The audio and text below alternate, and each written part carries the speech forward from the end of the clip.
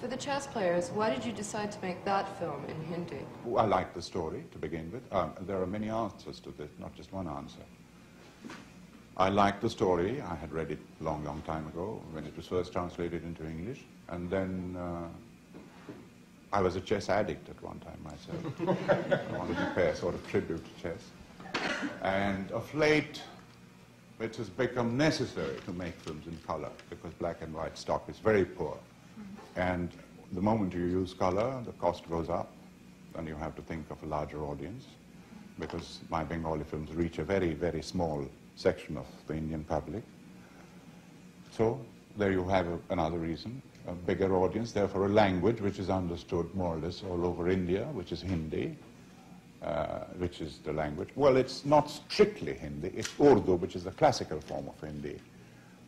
So chess players, and then I was anxious to work with some of these Bombay professional actors who are, I knew were very intelligent people, but who were mostly acting in, in, in very stupid kind of films and were unhappy because of that, because they're intelligent people. And uh, I know some of them personally. They've often expressed their wish to work with me. So I thought that, well, this was a good opportunity. And there was Saeed Jaffrey, who, whom I'd known before and who I'd seen briefly in a film of Jim Ivory's, James Ivory's called The Guru. And uh, well, we had talked about acting a little bit, and I'd said that, well, perhaps someday we'll work together. And I found an opportunity to just, uh, you know, call him, and uh, there, there it was. Yeah. In the chess players, um, you have these two parallel stories going on, the king's story and the chess player's story and never once during the film, which is seems to be an American custom, that these two sets of characters together, are brought together. Which uh, formally would be uh, considered a, a, a, sort of conventional thing to do right. in order to weave the two together.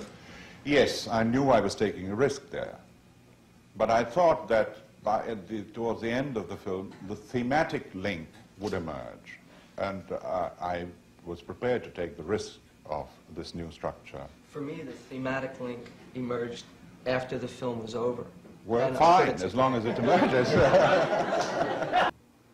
I have a question indirectly about the chess players. Did you make a definite effort to show a much more empty India, uh, le much less populated India? Because I noticed in, in all the shots that had the streets, except for the scenes with the cockfights and, and the Kite flying and... Uh, yeah, it, it, seemed to be a, a, much emptier India.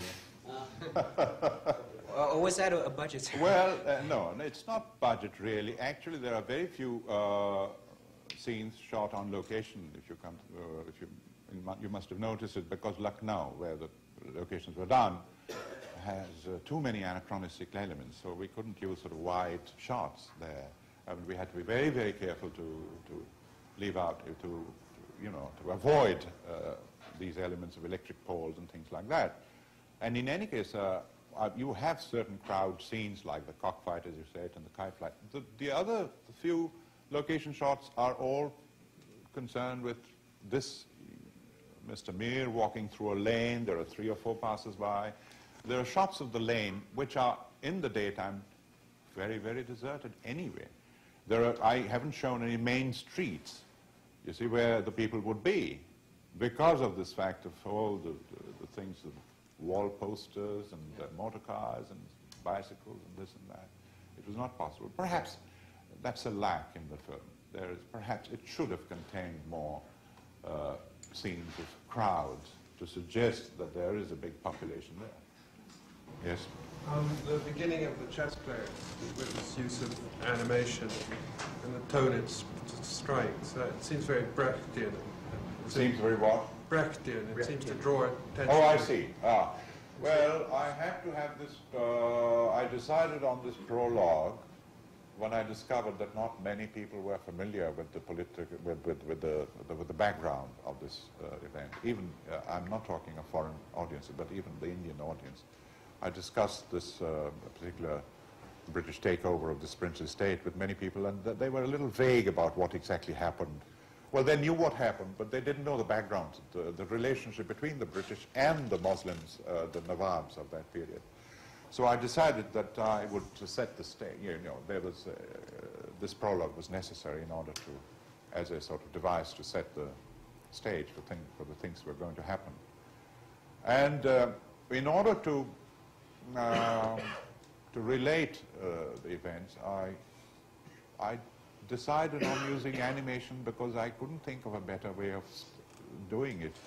There was a line in that letter which is quoted in the film, a letter written by Lord Dalhousie about the cherry, you know, I, I don't you, uh, the, that's one cherry that's going to drop into our mouths one day. And it seemed to suggest uh, the cartoon form, the animation form. And in fact, the decision to uh, use animation arose from that particular line in the letter. And since I used it once, I thought of using it twice. The jocularity of the, the um, voiceover, is that the way it's told is a Yes. children's story? Is that very much on purpose? Or? Oh, absolutely. Absolutely. Yes. Yes. Do you always enjoy the shooting? Yes. Every stage of it. Uh, not just shooting. First, it's finding a story which excites you. Secondly, is converting it into uh, the terms of a screenplay. Third is casting, which I do myself, even new people. I mean, they just come to my house. They knock on the door, and there's somebody waiting outside too, with acting ambitions. And I usually keep a photograph and a, you know, his name and address and vital statistics, and then eventually I may send for him. It's happened many times. And then, of course, costume, design, sets. I sit down with my art director, planning, getting the props for this particular film. Uh, the chess players, all the props are period props. All the shawls, the, the lovely ornamental things which the characters wear, some of them have, have come from museums. They're not, none of them less than 250 years old, and uh, they're real, real precious stuff.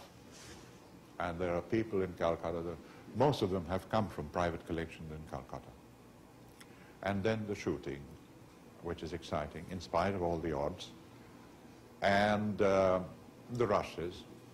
And most exciting of all is uh, sitting the moviola and cutting, and when the thing comes to life. Another stage, of course, I do my music also. That's exciting again. And mixing, finally.